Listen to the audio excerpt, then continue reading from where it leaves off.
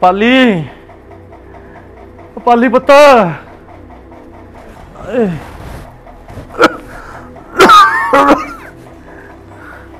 ਪਾਲੀ। ਪਾਲੀ ਪੁੱਤ।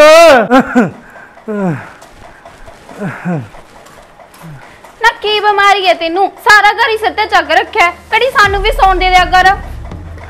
ਓਏ ਪੁੱਤ ਮੈਂ ਤਾਂ ਦਵਾਈ ਮੰਗਦਾ ਸੀਗਾ। ਕੀ ਬਾਪੂ ਤੇਰੇ ਤਾਂ ਲੋਟ ਹੀ ਨਹੀਂ ਆਉਂਦਾ ਹੈਗਾ ਸਾਰਾ ਦਿਨ ਬਸ। ਸਾਰਾ ਦਿਨ ਖਾਉਂ ਖਾਉਂ ਕਰਦਾ ਰਹਿਣਾਗਾ ਤੇ ਤੂੰ ਤਾਂ ਜਰੀ ਨਹੀਂ ਜਾਂਦੀ ਵੀ ਮੈਂ 10 ਮਿੰਟ ਸੋ ਜਾ ਬਸ। ਤੂੰ ਆਪ ਵੀ ਚੱਕ ਸਕਦਾਂਗਾ ਦਵਾਈ ਤਾਂ। ਲੱਤਾਂ ਪੈਰ ਤੋਂ ਤਾਂ ਨਹੀਂ ਖੜਾ ਤੂੰ।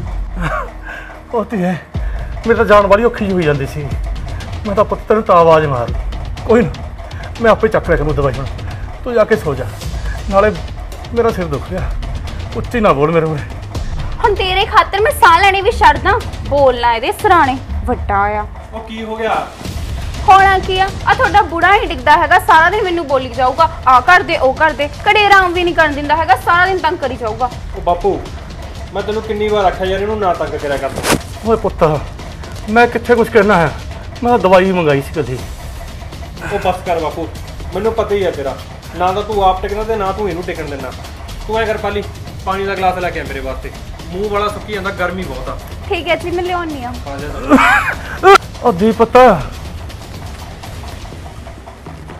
ਉਹ ਬਾਪੂ ਤੈਨੂੰ ਕਿੰਨੀ ਵਾਰ ਆਖਿਆ ਵੀ ਮਗਰੋਂ ਜਾਂਦੇ ਨੂੰ ਬੋਲ ਨਾ ਮਾਰਿਆ ਕਰ ਪਰ ਤੂੰ ਨਹੀਂ ਆਪਣੀਆਂ ਹਰਕਤਾਂ ਤੋਂ ਬਾਜ ਆਉਂਦਾ। ਹਾਂ ਦੱਸ ਕੀ ਗੱਲ ਆ? ਓਏ ਪੁੱਤ ਮੈਂ ਤਾਂ ਕੀ ਕਹਿਣਾ?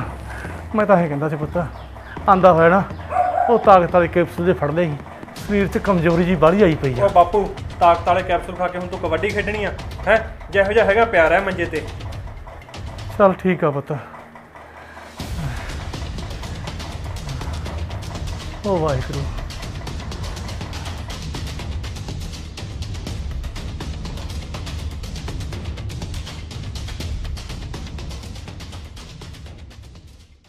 ਆ ਮੇਰਾ ਪੁੱਤ ਓਏ ਅਰਮਾਨ ਨਾ ਤੂੰ ਇੱਥੇ ਬੈਠਾ ਕੀ ਕਰਦਾ? ਹੈ? ਤੈਨੂੰ ਕਿੰਨੇ ਵਾਰ ਕਿਹਾ ਬੁੜੇ ਸੇ ਕੋਲ ਨਾ ਬੈਠਾ ਕਰ। ਸੌ ਬਿਮਾਰੀਆਂ ਨੇ ਇਹਨੂੰ ਜੇ ਤੈਨੂੰ ਲੱਗੀਆਂ ਫੇਰ। ਐ ਚੱਲ ਇੱਥੋਂ। ਮੰਮੀ ਫੇਰ ਕੀ ਹੋਇਆ? ਮੈਡਮ ਕਹਿੰਦੀ ਸੀਗੀ ਵੀ ਦਾਦੂ ਦੇ ਦੇਖ ਭਾਲ ਕਰਿਆ ਕਰੋ। ਬਸ ਕਰ ਬੜਾ ਗਿਆਨ ਨਾ ਦੇ ਤੂੰ ਮੈਨੂੰ। ਨਾ ਤੇਰੇ ਤੋਂ ਸਕੂਲ ਵਾਸਤੇ ਨਹੀਂ ਤਿਆਰ ਹੋਇਆ ਜਾਂਦਾ। ਅੱਜ ਵੀ ਬੱਸ ਲੰਘਾਏਗਾ ਤੂੰ। ਜੀ ਤਾਂ ਕਦੇ ਥੱਪੜ ਮਾਰਾਂ ਤੇਰੇ। ਨਾ ਪੁੱਤ ਮਾਰੀ ਨਾ ਜਵਾਬ ਨੂੰ। ਆਹੋ ਬਾਪੂ ਤੂੰ ਹੀ ਵਿਗਾੜ ਦੇਂਗਾ ਇਹਨੂੰ ਜਾਣ ਜਾਣ ਕੇ। ਪੜਨ ਪੜਨ ਵੀ ਨਹੀਂ ਦਿੰਦਾ ਹੈਗਾ ਮੇਰੇ ਜਵਾਕ ਨੂੰ। ਚੱਲ ਤੈਨੂੰ ਤਿਆਰ ਕਰਾਂ ਸਕੂਲ ਵਾਸਤੇ। ਸਾਰਾ ਦਿਨ ਬਸ ਖੇਡਣ ਖੇਡਣ ਤੇ ਲੱਗਾ ਰਹੂਗਾ। ਚੱਲ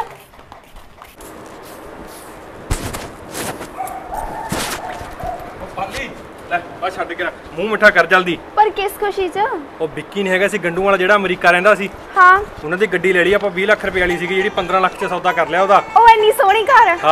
ਪਰ ਇੰਨੀ ਸਸਤੀ ਕਿਵੇਂ ਮਿਲ ਗਈ ਆਪਾਂ ਨੂੰ? ਓਹੋ ਯਾਰ ਉਹਨਾਂ ਨੇ ਕੀ ਕਰਨਾ ਸੀ? ਉਹ ਤਾਂ ਸਾਰਾ ਕੁਝ ਵੇਚ ਵੱਟ ਕੇ ਅਮਰੀਕਾ ਜਾ ਰਹੇ ਸੀਗੇ। ਕਹਿੰਦੇ ਚਲ ਗੱਡੀ ਵੇਚ ਜੀਏ ਮੈਂ ਫਿਰ ਫੜਾਇਆ ਸਾਈ ਮਾਰ ਲਿਆ ਸੌਦਾ। ਚੱਲ ਵਧੀਆ ਕੀਤਾ। ਚੱਲ ਬਾਪੂ ਦਾ ਵੀ ਮੂੰਹ ਮਿੱਠਾ ਕਰਾ ਦਾ।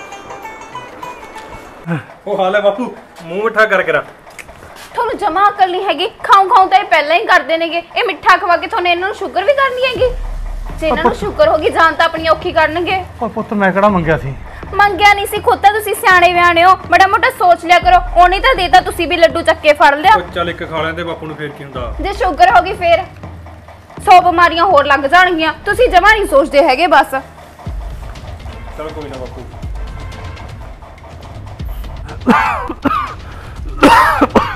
ਪਾਲੀ। ਪੁੱਤ ਪਾਲੀ। ਪਾਲੀ। ਨਾ ਇੱਥੇ ਅੰਦਰ ਕਿੱਥੇ ਵੜੀ ਜਾਂਦੇ ਹੋਗੇ? ਓਏ ਪੁੱਤ ਮੈਂ ਰੋਟੀ ਲੈਣ ਆਇਆ ਸੀ ਭੁੱਖ ਲੱਗ ਰਹੀ ਸੀ ਮੈਨੂੰ। ਜਦ ਬਣ ਗਈ ਉਹ ਤਾਂ ਫੜਾ ਜੂੰਗੀ ਅੱਗੇ ਦਿੰਨੇ ਆਂਗੇ ਅੱਜ ਵੀ ਦੇ ਦਿੰਦੇ। ਇੰਨੀ ਕੀ ਜ਼ਿਆਦਾ ਤੁਹਾਨੂੰ ਭੁੱਖ ਲੱਗੀ ਹੈਗੀ। ਓ ਪੁੱਤ ਮੈਂ ਕਿਹਾ ਚੱਲ ਰੋਟੀ ਦਾ ਟਾਈਮ ਹੋ ਗਿਆ ਮੈਂ ਕਿਹਾ ਚੱਲ ਤੂੰ ਲੈ ਕੇ ਨਹੀਂ ਵੀ ਮੈਂ ਹੀ ਜਾਇਆ ਨਾ ਮੈਂ ਆਪੇ ਫੜਾਇਆ ਆਉਂਗੀ। ਕੰਮ ਤਾਂ ਤੁਸੀਂ ਕੁਝ ਕਰਦੇ ਨਹੀਂ ਹੈਗੇ। ਬੇਲੇ ਨੂੰ ਪਤਾ ਨਹੀਂ ਕਿਵੇਂ ਭੁੱਖ ਲੱਗੀ ਜਾਂਦੀ ਹੈਗੀ। ਨਾਲੇ ਆ ਇੰਨੀ ਉੱਚੀ ਚੜਨ ਦੀ ਦੱਸ ਕੀ ਲੋੜ ਸੀ। ਉਹੀ ਜੇ ਲੱਤ ਪੈਰ ਤੜਾ ਲਿਆ ਸਾਡੇ ਗਲ ਪਾਉਂਗੇ ਹੋਰ। ਤਾਂ ਦੁਖੀ ਕਰ ਰੱਖਿਆ ਇਸ ਬੁੜੇ ਨੇ। ਉਹ ਕੋਈ ਨਾ ਪੁੱਤ ਗੁੱਸੇ ਨਾ ਹੋ ਤੂੰ। ਚੱਲ ਜਦੋਂ ਬਣ ਗਈ ਪੁੱਤ ਦੇ ਹਾਂ ਮੈਂ ਆਪੇ ਫੜਾਇਆ ਆਉਂਗੀ ਤੁਸੀਂ ਬੈਠ ਜਾਓ। ਚੰਗਾ ਚੰਗਾ ਤੀ ਕੀ ਕਰਾਂ ਮੈਂ ਇਸ ਬੁੜੇ ਦਾ?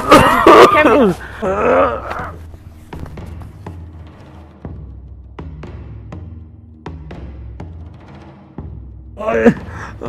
ਉਹ ਬਾਪੂ ਕਿੱਧਰ ਪੰਗੇ ਲੈਂਦਾ ਫਿਰਦਾ? ਸੱਟ ਤਾਂ ਨਹੀਂ ਵੱਜੀ। ਨਾ ਪੁੱਤ। ਇੱਧਰ ਕੀ ਲੈਣਾ ਸੀ ਦੱਸ। ਉਹ ਪੁੱਤ ਰੋਟੀ ਲੈਣ ਆਈ ਸੀਗੇ ਮੈਂ ਕਈ ਵਾਰ ਕਿਹਾਗਾ ਵੀ ਨਾ ਆਇਆ ਕਰੋ ਇੱਧਰ ਦੇਖੀ ਹੁਣ ਡਿੱਗ ਗਿਆ ਨਾ। ਬਾਪੂ ਤੈਨੂੰ ਉੱਥੇ ਬੈਠੇ ਬਿਠਾਏ ਨੂੰ। ਫੜਾਉਣੇ ਤਾਂ ਹੈਗੇ ਰੋਟੀ ਇੱਧਰ ਕੀ ਕਰਨ ਆਉਣਾ ਤੂੰ? ਹੁਣ ਪੁੱਤ ਭੁੱਖ ਲੱਗ ਰਹੀ ਸੀ ਭੁੱਖ ਲੱਗ ਰਹੀ ਸੀ। ਤੁਸੀਂ ਇਹਨਾਂ ਨੂੰ ਕੋਈ ਟੁੱਟਿਆ ਫੁੱਟਿਆ ਫੋਨ ਲਿਆ ਕੇ ਦੇ ਦਿਓ। ਕਮ ਸੇ ਕਮ ਹਾਕਾ ਮਾਰਨ ਨੂੰ ਤਾਂ ਹਟਣਗੇ। ਉੱਥੋਂ ਹੀ ਫੋਨ ਮਾਰ ਦਿਆ ਕਰਨਗੇ। ਚਲ ਮੈਂ ਅੱਜ ਬਾਪੂ ਨੂੰ ਫੋਨ ਲਿਆ ਕੇ ਦਿੰਦਾ। ਆ ਜਾ ਹੁਣ ਬਾਪੂ ਇੱਧਰ ਨਾ ਆਇਆ ਕਰ ਐਵੇਂ ਛੱਡਿਓ। ਚੱਲ ਜੇ ਹੁਣ ਕੋਈ ਲੱਤ ਟੁੱਟ ਜਾਂਦੀ ਐਵੇਂ ਹੀ ਪੰਗਾ ਕਰ ਦਿੰਦਾ ਜਾਨ ਚੰਗਾ ਚੰਗਾ ਨਹੀਂ ਆਉਂਦਾ। ਦਾਦੂ ਮਾੜਾ ਜਿਹਾ ਤੇਰਾ ਫੋਨ ਦਿਖਾਈ। ਆ ਲੈ ਪੁੱਤ ਦੇਖ ਲੈ। ਤੇਰਾ ਫੋਨ ਤਾਂ ਟੁੱਟਿਆ ਫੁੱਟਿਆ ਉਹ ਪੁੱਤ ਤੇਰਾ ਦਾਦਾ ਵੀ ਟੁੱਟਿਆ ਪਿਆ। ਅਰਮਾਨ ਅਰਮਾਨ। ਜਾ ਪੁੱਤ ਤੇਰੀ ਮੰਮੀ ਆਵਾਜ਼ਾਂ ਮਾਰੀ ਜਾਂਦੀ ਆ। ਮੈਂ ਨਹੀਂ ਜਾਂਦਾ ਦਾਦੂ। ਉਹੇ ਪਕਾਈ ਮਾਰੇ ਜਾਊਗਾ ਨਾ ਕਦੋਂ ਦੀ ਮੈਂ ਆਵਾਜ਼ਾਂ ਮਾਰ ਜਾਂਦੀ ਤੈਨੂੰ ਸੁਣਦਾ ਨਹੀਂ ਹੈਗਾ? ਨਾਲੇ ਤੂੰ ਹਟਦਾ ਨਹੀਂ ਹੈਗਾ ਇਹਨੂੰ ਬੁਲਾਉਣਾ ਚੱਤ ਤੱਕ ਇਹਨੂੰ ਕੋਈ ਬਿਮਾਰੀ ਨਹੀਂ ਲੱਗ ਜਾਂਦੀ। ਓਏ ਪੁੱਤ ਮੈਂ ਕਾਹਨੂੰ ਬੁਲਾਇਆ ਸੀ? 10 ਮਿੰਟ ਖੇਡਣ ਲਈ ਆ ਜਾਂਦਾ ਮੇਰੇ ਲਈ। ਆਹੋ ਤੇਰੀਆਂ ਤਾਂ ਗੱਲਾਂ ਹੀ ਨਹੀਂ ਮੁੱਕਦੀਆਂ ਹੈਗੀਆਂ ਬਸ। ਤੂੰ ਚੱਲ ਹੋਮਵਰਕ ਕਰ ਸਕੂਲ ਦਾ। ਖੇਡਣ ਦੀ ਰਹਿੰਦੀ ਹੈ ਸਾਰਾ ਦਿਨ। ਸਾਰਾ ਦਿਨ ਬਸ। ਨਾਲੇ ਮੈਂ ਤੁਹਾਨੂੰ ਕਿਹਾ ਸੀ ਵੀ ਖੇਤ ਚੋਂ ਚੋਲੇ ਚੁਲੇ ਤੋੜ ਲਿਆਇਓ ਸਬਜ਼ੀ ਧਰ ਲਾਂਗੇ। ਉਹ ਯਾਰ ਮੈਂ ਸੀਰੀ ਨੂੰ ਕਹਿੰਦਾ ਸੀ ਆਪਣੇ ਵਾਲੇ ਨੂੰ ਉਹ ਤੋੜ ਕੇ ਫੜਾ ਜੂਗਾ ਮੇਰੇ ਕੋਲ ਅੱਧੇ ਘੰਟੇ ਤੱਕ ਰਹਿੰਦਾ ਸੀ ਮੈਂ ਆਉਂਗਾ। ਆਉਂਦਾ ਹੀ ਹੋਊਗਾ ਹਲੇ ਬਸ ਠੀਕ ਹੈ ਸ਼ਾਮ ਨੂੰ ਮੈਂ ਧਰ ਲੂੰਗੀ। ਵੇਖਿਆ ਅਰਮਾਨ ਪੁੱਤ ਤੂੰ ਆਉਂਦੇ ਸਾਰੀ ਫੋਨ ਚਲਾਉਣ ਲੱਗ ਜਾ ਕਰ। ਕਦੇ ਐਂ ਵੀ ਕਹਦੇ ਕਰ ਅੱਜ ਮੈਂ ਪੜਨ ਦਾ ਦਿਲ ਕਰਦਾ ਅੱਜ ਮੇਰਾ। ਸਾਰਾ ਦਿਨ ਫੋਨ 'ਚ ਲੱਗਿਆ ਰਹਿੰਦਾ ਹੈਗਾ। ਆਏ ਨਾ ਕਰਿਆ ਕਰ ਪੁੱਤ ਪੜਿਆ ਵੀ ਕਰ। ਮੰਮੀ ਕੱਲ ਛੁੱਟੀ ਆ ਕੱਲ ਕਰ ਲੂੰਗਾ ਗੱਲ ਤਾਂ ਬਸ ਕਿਸੇ ਦੀ ਮੰਨਣੀ ਨਹੀਂ ਹੈਗੀ। ਤੁਸੀਂ ਇਹ ਸਮਝਾਓ ਇਹਨੂੰ ਕੁਝ ਚਲ ਕੋਈ ਨਾ ਯਾਰ ਖੇਡ ਲੈਣੇ ਦਾ ਕੋਈ ਗੱਲ ਨਹੀਂ ਆ ਫੜਾ ਫੋਨ। ਸਾਰਾ ਦਿਨ ਫੋਨ 'ਚ ਹੀ ਲੱਗਿਆ ਰਹੂ। ਤੁਸੀਂ ਸਮਝਾਇਆ ਕਰੋ ਇਹਨੂੰ ਕੁਝ ਉਹ ਦੇਖ ਜਵਾਕ ਰੁੱਸ ਕੇ ਵਗ ਗਿਆ ਹੁਣ। ਜੇ 10 ਮਿੰਟ ਖੇਡ ਲੈਂਦਾ ਫਿਰ ਕੀ ਹੁੰਦਾ ਸੀਗਾ? ਸਾਰਾ ਦਿਨ ਖੇਡਣ ਤੇ ਹੀ ਹੈਗਾ। ਉਹ ਐਵੇਂ ਨਾਲ ਘੁਰਿਆ ਕਰ ਉਹਨੂੰ ਬਾਲਾ ਆਹੋ ਸਾਰੀ ਪੜ੍ਹਾਈ ਖਰਾਬ ਹੈ। ਉਹਦੀ ਜਵਾਕ ਨੂੰ ਖੇਡਣ ਵਾਸਤੇ। 5 ਵਜੇ ਸ਼ਾਮ ਨੂੰ ਆਉਂਦਾ ਉਹ ਸਕੂਲੋਂ।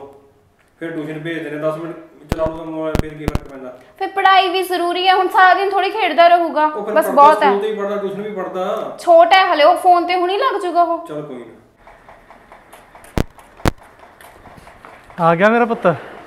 ਦਾਦੂ ਮੇਰੀ ਮੰਮੀ ਨਾ ਫੋਨ ਨਾਲ ਖੇਡਣ ਨਹੀਂ ਦਿੰਦੀ ਤੂੰ ਮੇਰੇ ਨਾਲ ਖੇਲਦਾ ਓਏ ਪੁੱਤ ਮੇਰੀ ਤਾਂ ਤਬੀਅਤ ਜੀ ਖਰਾਬ ਹੋ ਰਹੀ ਹੈ ਪੁੱਤ। ਮੈਂ ਇੱਥੋਂ ਕਿੱਥੇ ਖੇਡੇ ਜਾਊਗਾ? ਦਾਦੂ ਤੂੰ ਕੋਈ ਕੋਈ ਗੋਲੀ ਗੁਲੀ ਲੈ ਲਾ। ਓਏ ਪੁੱਤ ਦਵਾਈ ਵੀ ਮੁੱਕੀ ਪਈ ਆ। ਉਧਰ ਤੇਰੇ ਮੰਮੀ ਡੈਡੀ ਨਹੀਂ ਹੈਗੇ। ਆ ਗਏ ਘਰੇ ਕਿ ਨਹੀਂ ਉਹ? ਦਾਦੂ ਘਰੇ ਨੇ ਗਿਆ ਅੱਛਾ ਪੁੱਤ ਫਿਰ ਮੇਰੀ ਰੋਟੀ ਵੀ ਨਹੀਂ ਦੇਣ ਆਏ। ਨਾ ਹੀ ਮੈਨੂੰ ਫੋਨ ਕਰਿਆ ਉਹਨਾਂ ਨੇ ਵੀ ਰੋਟੀ ਮੈਂ ਹੀ ਲਿਆਂਦਾ ਨਹੀਂ ਜਾ ਕੇ। ਦਾਦੂ ਮੈਂ ਰੋਟੀ ਲੈ ਕੇ। ਲਿਆ ਪੁੱਤ। ਮੰਮੀ ਮੰਮੀ ਦਾਦੂ ਨੂੰ ਰੋਟੀ ਦੇ ਦਿਓ। ਨਾ ਉਹਨੇ ਕਿਹੜਾ ਪਹਿਲਾਂ ਮੈਨੂੰ ਦੱਸਿਆ ਸੀ ਵੀ ਉਹਨੂੰ ਰੋਟੀ ਪਾ ਦਿਓ ਤੈਨੂੰ ਲਾਤਾ ਆਰਡਰ ਭੇਜਣ ਨੂੰ ਦੱਸ। ਜੇ ਉਹਨਾਂ ਨੇ ਨਹੀਂ ਦੱਸਿਆ ਫਿਰ ਤੁਸੀਂ ਦੇ ਦਿੰਦੇ। ਪੂਜਾ ਤੂੰ ਜ਼ਿਆਦਾ ਸਿਆਣਾ ਨਾ ਬਣ ਤੇਰੀ ਮਾਂ ਆ ਮੈਂ। ਨਾ ਮੈਂ ਹੁਣ ਸਾਰਾ ਦਿਨ ਉਹਨੂੰ ਹੀ ਪੁੱਛਦੀ ਰਹਾਂ ਤੁਸੀਂ ਰੋਟੀ ਖਾਣੀ ਹੈ ਤੁਸੀਂ ਚਾਹ ਪੀਣੀ ਹੈ ਉਹ ਕੀ ਗੱਲਾਂ ਚੱਲੀ ਜਾਂਦੀਆਂ ਨੇ ਮਾਂ ਪੁੱਤ 'ਚ? ਲੈਣ ਆਇਆ ਨਹੀਂ ਗਿਆ ਹੈਗਾ ਇਹਨੂੰ ਆਰਡਰ ਲਾ ਕੇ ਭੇਜਤਾ। ਚਲ ਫਿਰ ਕਿਉਂਕਿ ਜੇ ਬਣ ਗਈ ਤਾਂ ਫੜਾ ਦੇ ਤੂੰ। ਬਣੀ ਨਹੀਂ ਹੈਗੀ ਰੋਟੀ ਹਜੇ ਟਾਈਮ ਲੱਗੂਗਾ। ਚਲ ਜਦੋਂ ਬਣ ਕੇ ਫੜਾ ਦੇ ਚੰਗਾ ਮੈਂ ਮੜਾ ਜਿਹਾ ਕੰਮ 'ਚ ਆਇਆ ਵਾਂ।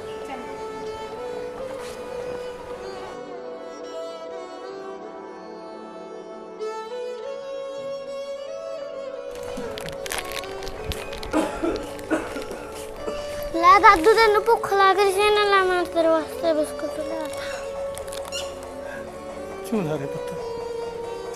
ਜਵਾਨੀਆਂ ਬਣੇ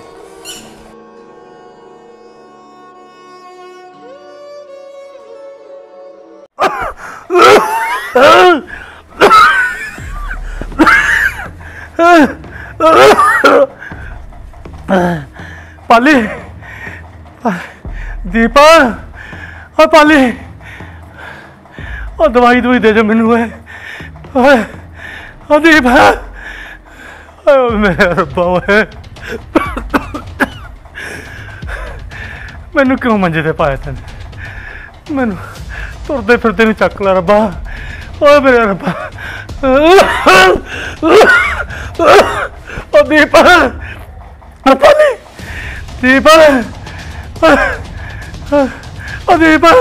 ਸਬਜ਼ੀ ਤਾਂ ਬਣ ਗਈ, ਸਫ਼ਾਈ ਕਰਤਾ ਜਲਦੀ ਜਲਦੀ ਰਿਸ਼ਤੇਦਾਰ ਵੀ ਆਉਣ ਵਾਲੇ ਹੋਣੇ ਬਸ। ਅਗਰਾ ਵੀ ਪਿਆ ਭਾਂਡਿਆਂ ਦਾ। ਇਹ ਵੀ ਧੋਣਾ ਮੈਂ। ਚਲ ਜਲਦੀ ਜਲਦੀ ਕੰਮ ਕਰਾਂ ਬਸ ਮੈਂ। ਆ ਗੱਲ ਸੁਣਿਓ ਜੀ। ਹਾਂ ਦੱਸ। ਆਂਦੇ ਹੋਏ ਨਾ ਮੁੰਡੇ ਦਾ ਜਨਮ ਦਿਨ ਹੈ ਕੇਕ ਵਗੈਰਾ ਲੈ ਆਇਓ। ਤੂੰ ਉਹਦੀ ਫਿਕਰ ਨਾ ਕਰ। ਹਜੇ ਕਿਹੜਾ ਰਿਸ਼ਤੇਦਾਰ ਆਉਣ ਲੱਗੇ ਨੇ? ਮੈਂ ਆਪੇ ਲਿਆਉਂ ਆਉਂਦਾ ਹੋਇਆ। ਨਾਲੇ ਵੱਡਾ ਸਾਰਾ ਕੇਕ ਲੈ ਆਇਓ। 15-20 ਜਣਿਆਂ ਨੇ ਆਣਾ ਹੈਗਾ। ਕੇਕ ਤੇ ਨਾਮ ਵੀ ਲਿਖਾ ਦਿਓ ਅਰਮਾਨ ਦਾ ਨਾਲੇ ਫੋਟੋ ਵਾਲਾ ਕੇਕ ਲੈ ਕੇ ਆਇਓ। ਓਏ ਉਹ ਤਾਂ ਠੀਕ ਹੈ ਗੱਲ ਤੇਰੀ। ਅਰਮਾਨ ਨਾ ਆ ਕੇ ਤਿਆਰ ਹੋ ਗਿਆ ਕਿ ਨਾ?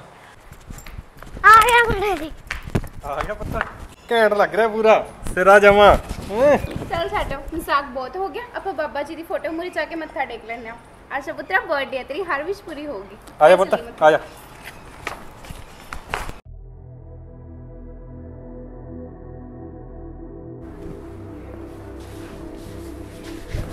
ਅਰਮਾਨ ਪੁੱਤ ਕੀ ਮੰਗਿਆ ਤੂੰ ਬਾਬਾ ਜੀ ਤੋਂ? ਵੀ ਮੈਂ ਵੱਡਾ ਹੋ ਕੇ ਬੂढ़ा ਹੋ ਜਾਊਂਗਾ ਪਰ ਮੈਂ ਬੁਰਾ ਨਹੀਂ ਹੋਣਾ ਚਾਹੁੰਦਾ। ਲੈ ਪੁੱਤ ਹੋਰ ਕੀ ਤੂੰ ਐਡਾ ਕੀ ਰਹੇਗਾ? ਬੁਢਾਪਾ ਤਾਂ ਪੁੱਤ ਸਾਰਿਆਂ ਤੇ ਆਉਂਦਾ। ਜੇ ਮੈਂ ਬੂढ़ा ਹੋ ਗਿਆ ਮੈਂ ਦਾਦੂ ਜੈਸਾ ਹਾਲ ਹੋ ਜਾਊਗਾ। ਨਾ ਕਿਸੇ ਨੇ ਮੈਨੂੰ ਰੋਟੀ ਦੇਣੀ ਨਾ ਕਿਸੇ ਨੇ ਮੈਨੂੰ ਪਾਣੀ ਦੇਣਾ। ਤੁੜੀ ਵਾਲੇ ਕਮਰੇ ਚ ਸਿੱਟ ਦੇਣਾ ਉਹਨੂੰ। ਕਿਉਂ ਪੁੱਤ? ਤੂੰ ਸਾਡਾ ਬੁਢਾਪੇ 'ਚ ਸਹਾਰਾ ਨਹੀਂ ਬਣਦਾ ਜੇ ਤੁਸੀਂ ਦਾਦੂ ਦਾ ਨਹੀਂ ਸਹਾਰਾ ਬਣਿਆ ਫਿਰ ਮੈਂ ਕਿਉਂ